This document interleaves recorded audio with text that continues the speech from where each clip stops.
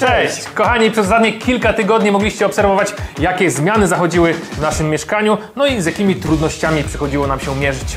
Pod filmami pojawiało się mnóstwo komentarzy oraz pytań związanych właśnie z remontem łazienki oraz WC. Dlatego stworzyliśmy takie podsumowanie, w którym postaramy się prześledzić prace, jakie do tej pory zaszły w mieszkaniu oraz odpowiedzieć Wam na najczęściej zadawane pytania. Zaczynamy!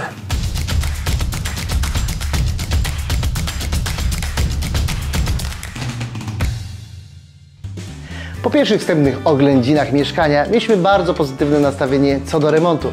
Jednak jak to mówi przysłowie, diabeł tkwi w szczegółach. Pod filmem padały pytania o metraż łazienki. Co jakiś czas przypominaliśmy Wam rzut całego mieszkania z wymiarami poszczególnych pomieszczeń. Tu mamy do czynienia z wnętrzem o wielkości 3,5 m2. Tak czy inaczej, młotowiertarka nie miała lekko. Trzeba było uzbroić się więc w cierpliwość, tym bardziej, że pod płytkami znajdowała się spora warstwa kleju czy jakiejś zaprawy. Podpowiadaliście, że dawniej w taki właśnie sposób kleiło się płytki używając do tego celu cementu. W końcu ujrzeliśmy tylko gołe ściany i ubytki, które trzeba było jakoś uzupełnić. Zanim jednak to zrobiliśmy, potrzebny był plan działania, jakaś wizja tego, co ma się w łazience znajdować. Pisaliście o braku weny, przez który i my przechodziliśmy. W takim wypadku warto przeglądać i szukać inspiracji na przykład w katalogach, czy udać się do stref inspiracji. Aby zwizualizować sobie wybrany styl i przenieść go do naszej łazienki, postanowiliśmy skorzystać z pomocy projektanta. W jednym z odcinków wspominaliśmy Wam, że w przypadku hydrauliki i elektryki zdecydowaliśmy się na pomoc fachowców. Nie trzeba chyba nikogo przekonywać, że poprawnie zaprojektowane i zamontowane instalacje wpływają na samo bezpieczeństwo, jak i koszty, jakie trzeba będzie ponieść w przypadku źle wykonanej przez nas pracy. Kiedy ten punkt mieliśmy odhaczony, można było okiełznać nierówności ścian. Pytaliście, czy aby na stałe nie zakryliśmy płytą wodomierzy, co byłoby sporym niedopatrzeniem z naszej strony. Tak się nie stało. Z racji ograniczonej przestrzeni i możliwości przenieśliśmy liczniki wyżej i tam też powstała rewizja. W komentarzach pojawiły się miłe wzmianki o tym, że wykazaliśmy się precyzją przy kładzeniu kafelek. Z pewnością pomogły nam w tym klipsy i kliny z systemu wyrównującego płytki, który okazał się świetnym udogodnieniem i pozwolił w prosty sposób zachować jednolity poziom na całej powierzchni. Końcu mogliśmy zabrać się za wyposażenie. Kabinę uzbroiliśmy w kolumnę prysznicową z deszczownicą i pozostał już tak naprawdę montaż mebli. Możliwości ich dopasowania było naprawdę sporo, więc czy komuś podoba się umywalka wpuszczona w blat, czy też model nablatowy, to z całej gamy elementów można wybrać ten pasujący do konkretnych potrzeb czy gustu. No i przyszedł ten najbardziej wyczekiwany przez wszystkich moment, czyli podziwianie efektów pracy. Najlepiej widać to cofając się wspomnieniami do tego, jak łazienka wyglądała przed metamorfozą, po rozbiórce i po przeprowadzonej metamorfozie. Nie szczędziliście w komentarzach swoich pochwał dla zmian, jakie tu zaszły. Nie będę tutaj mówił skromnie, że przechodzimy obok nich obojętnie. Wręcz przeciwnie, niesamowicie nas to nakręca do dalszej pracy i każdy Wasz komentarz czytamy od deski do deski. Nie inaczej jest w przypadku komentarzy zawierających konstruktywną krytykę, bo przecież wiemy, że da się coś zrobić inaczej, dlatego też fajnie jest wymienić się doświadczeniami. Czytając komentarze, widzieliśmy, że nie każdemu, mówiąc w cudzysłowie, leżała pralka w rogu łazienki, a inni pisali, że w naszym stylu byłoby, jakbyśmy coś zrobili ręcznie. Dlatego nie mogliśmy pozostać bierni na te komentarze i dobrze wiecie, co zrobiliśmy. Wzięliśmy pralkę pod pachę i udaliśmy się z nią do majsterkowni.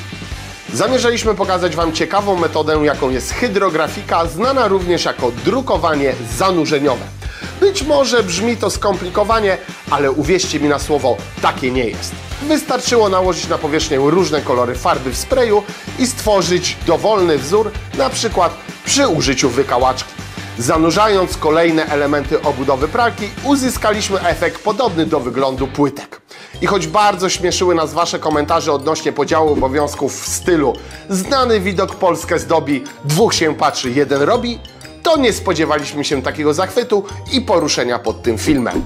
Nasza, jak to napisaliście, marmurkowa pralka przypadła Wam do gustu do takiego stopnia, że dopytywaliście, czemu takie egzemplarze nie sprzedawane są w sklepach. Jak widać, to co białe nie musi do końca takie być. Nawet pralkę można w elegancki sposób wkomponować do łazienki. Równie dużo zapytań w komentarzach pojawiło się odnośnie tego, gdzie podziała się toaleta. Nie założyliśmy rzecz jasna, że domownicy będą udawali się za potrzebą do sąsiadów, tylko do WC znajdującego się w wydzielonej części, tuż obok łazienki. W naszym odczuciu takie właśnie rozwiązanie było korzystne i nie chcieliśmy wyburzać ścianki łącząc tym samym oba pomieszczenia. Natomiast jeżeli chodzi o armaturę łazienkową, to postawiliśmy na ekologiczne rozwiązanie. Jako, że mycie rąk pochłania dziennie sporo wody, można sprytnym sposobem przekierować ją z umywalki i napełnić zbiornik WC, redukując w ten sposób pobór wody. Oczywiście, mamy świadomość, że korzystanie z takiego rozwiązania może nie być w 100% wygodne. Uznaliśmy jednak, że małymi krokami warto pójść w stronę oszczędności wody, co będzie też czasem zauważalne w portfelu. Jeżeli brakowało Wam do tej pory w łazience miejsca na różnego rodzaju detergenty i środki czystości, to właśnie tu przewidzieliśmy do tego podwieszaną szafkę, mieszczącą w sobie wszystkie wspomniane rzeczy. Po Waszych komentarzach wnioskujemy, że i ta metamorfoza była dla Was inspirująca. Rzućmy jeszcze raz okiem na to, jak wyglądała toaleta przed remontem i co osiągnęliśmy po. W odcinku pokazywaliśmy Wam także dwie propozycje na odświeżenie wyglądu łazienki bez skuwania kafelek i obawy przed całym bałaganem no, wynikającym z gruntownego remontu. Pierwszą z nich było przygotowanie powierzchni i pomalowanie jej za pomocą specjalnej farby do renowacji. Różnią się one składem i przeznaczeniem, więc inną farbę stosuje się do płytek ściennych, inną do podłogowych, narożonych na ścieranie. Warto więc zapoznać się dokładnie z produktem, który zamierzacie użyć lub po prostu podpytać się w alejce doradców służących zawsze swoją pomocą. Drugi ze sposobów to kładzenie płytek na płytki. Co prawda powierzchnia łazienki nieznacznie zmniejszy się poprzez nałożenie warstwy kleju i gresu, ale oszczędzimy sobie tym samym całego bałaganu. Jeżeli więc czujecie, że stan kafelek jest dobry i mogą one posłużyć Wam jeszcze przez parę ładnych lat, to warto wypróbować tego typu rozwiązania. Na koniec jeszcze dwa często pojawiające się pytania. Pierwsze z nich to ile czasu zajął nam remont łazienki? Oczywiście trzeba tu najpierw wspomnieć o tym, że oba pomieszczenia powstawały w tym samym czasie, biorąc więc pod uwagę schnięcie kleju, gładzi, farby czy innych materiałów, to należy na remont łazienki i WC przeznaczyć około 10 dni roboczych. Druga rzecz to oczywiście koszty, o które wielokrotnie pytaliście. Postaramy się je Wam z grubsza przedstawić w rozbiciu na odpowiednie sekcje, tak abyście mieli pojęcie z jakimi kwotami trzeba się mierzyć. Co tu dużo mówić, kochani, cieszymy się, że z nami jesteście, no i że żywo komentujecie wszystkie zachodzące w mieszkaniu zmiany. Oczywiście to tylko wierzchołek góry lodowej i zdajemy sobie sprawę i tego nie ukrywamy, że akurat łazienka i WC to jedne z najtrudniejszych pomieszczeń w czasie całego remontu. A więc śledźcie nasze poczynania, zostawiając subskrypcję na kanale Castorama Polska.